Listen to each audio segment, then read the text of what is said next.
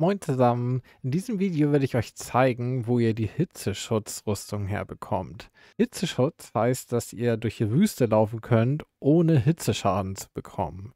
In der Wüste oder in Wüstengebieten hier in Tears of the Kingdom ist es ja häufig relativ warm und ihr kommt dann in den roten Bereich von der Hitze und dann bekommt ihr Schaden über Zeit und durch die Hitzeschutzrüstung verhindert ihr das Ganze.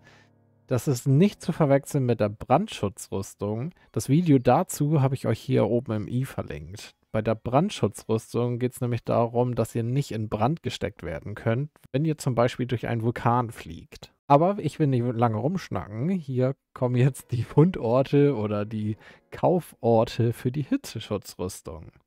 Für die Hitzeschutzbeine und Brust müssen wir hier nach Gerudo. Und um es genau zu sagen, nach Gerudo-Stadt. Das befindet sich hier. Noch etwas dichter dran zu sehen. So, und wir sind hier jetzt am Eingang und hier vom Eingang aus müssen wir links abbiegen. Dann hier runterspringen. Und da vorne befinden sich ein paar Steine, die müssen wir erstmal kaputt hauen. Wir müssen uns jetzt hier den Weg durchbahnen zum geheimen Shop hin.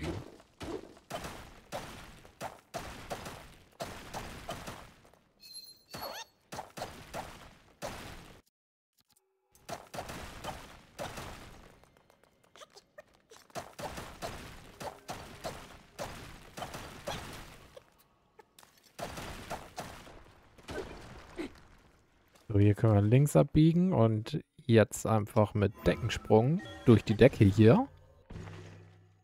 Und dann sind wir auch schon im geheimen Shop.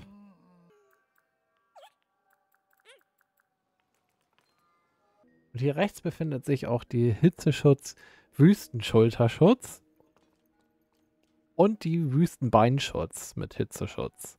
Für den Kopf müssen wir gar nicht viel weiter. Wir müssen hier nämlich zum Wüstenbazar in Gerudo. Hier nochmal dichter dran zu sehen.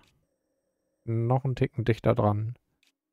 Und ganz dicht. Und da müssen wir dann gleich hier beim Crema-Laden einkaufen. Wir porten uns dann hin zum Maya Tata Schrein. So, und hier vorne sind dann auch schon die beiden Händler. Beim ersten brauchen wir nichts kaufen, aber hier beim zweiten finden wir den Wüsten Sternschutz.